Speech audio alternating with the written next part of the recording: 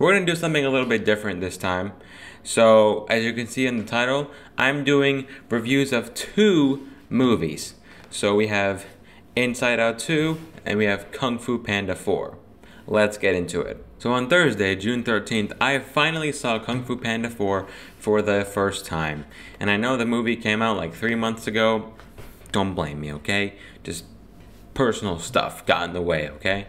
But yeah, and, and especially this, this was definitely a big thing that, you know, contributed to the delay. But I finally watched it, and it was fine. Like I wasn't impressed by anything like in the movie. I just, you know, I I think it just went with the flow of you know generic kids movie. It, it, it very it's very obviously the worst in the Kung Fu Panda series, but I don't think it was as bad as people made it out to be. Like I saw so many videos of like, oh, Kung Fu Panda 4 is so bad, it's such a bad film. I mean, to be fair, when I saw that the director of this movie is the same director who made Trolls, like I'm not even kidding, it's literally the same director, I can see why that fact drove a lot of people off. But I didn't let that get to me. I mean, the, the Good Dinosaur and Elemental have the same director, so that says everything. But yeah, uh, let's just say this movie was just fine. I, I don't think it blew me away necessarily, but there were some scenes where I really just put did this for five seconds, and then I just you know didn't.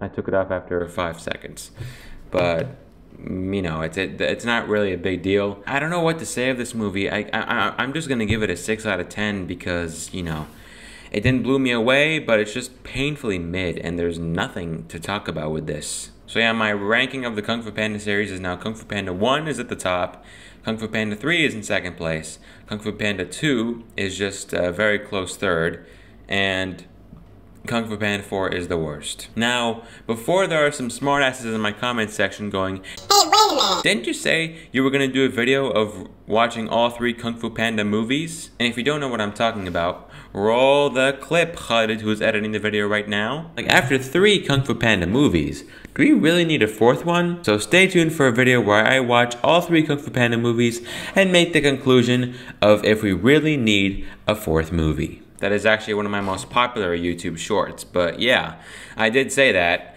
and the video still hasn't come out yet. It's because I had a change of plan midway through because because of course at the time I was, you know, still doing school, still very busy, but also I had a change midway through. I thought to myself, why not I finally watch this movie first and then I will watch the three movies again and you know just see you know, if it, if, if it was worth doing. Because I'm pretty good at, you know, analyzing movies like on first viewing. And one of those times where that definitely happened was today on Friday, June 14th, the premiere day for Inside Out 2. Right off the bat, I'm just gonna say, I love this movie. Do I think it's as good as the first one? I think it's on par. They're on par with each other. I feel like if you loved the first one, you're going to love the second one. I loved the new emotions. I did not realize anxiety, spoiler alert, was going to go rogue in this movie. She goes absolutely rogue, and let's just say me and my sister and yeah, I took my sister with me to see the movie. You guys remember from the past, uh, my sister Maha was uh, in a, a, lot of my videos. Go subscribe to her, by the way. I'll have a link to her channel in the description. We watched the movie together. She also really enjoyed it because Inside Out is her favorite Pixar movie, and she said that this was just as good. So yeah, she has her second favorite Pixar movie. So you know, Maha, if you're watching this, leave a 10 out of 10 in the comments below. but yeah, we both really enjoyed it.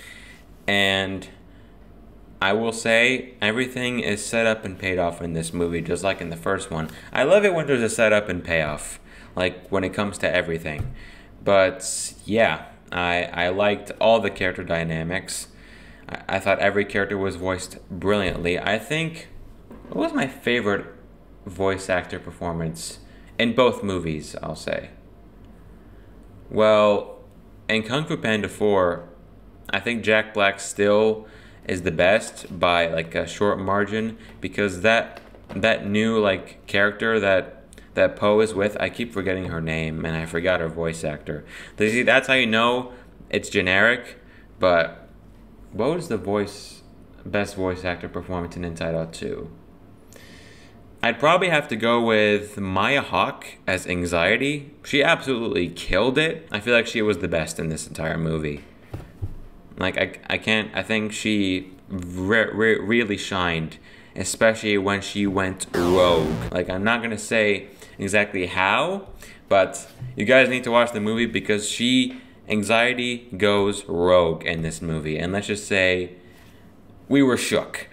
but don't worry, it's all paid off in the end. So, yeah, th- those that that's my review of Inside Out 2. I give it a nine out of ten. Great movie. You need if you love the first one, you're going to love the second one. And yeah, that's that, that's my reviews of uh, the the two movies. Comment down below which one you preferred if you watched both of them. And with that being said, I'm out. Peace.